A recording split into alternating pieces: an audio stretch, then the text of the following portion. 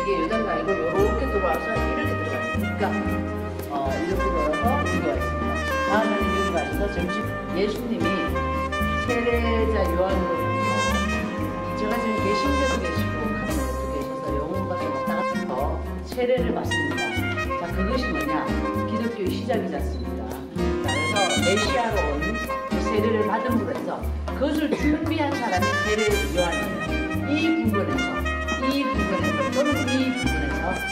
준비한 사람이 바로 요한입니다. 그 세례를 하고 난 다음에는 물론 요한은 내가 지금 그 꼰동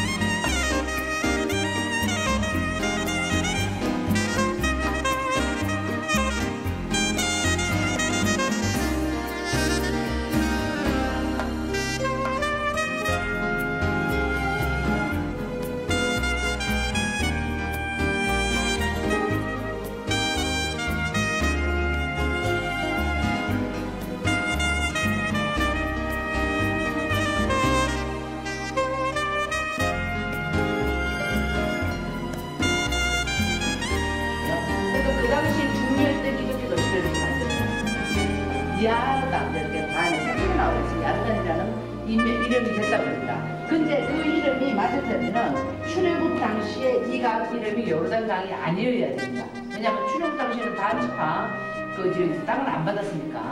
그래서 그런 것도 나중에 조금 더 자세히 설명해 드릴게요. 그런 것들 이렇게 뭐이 노원을 따질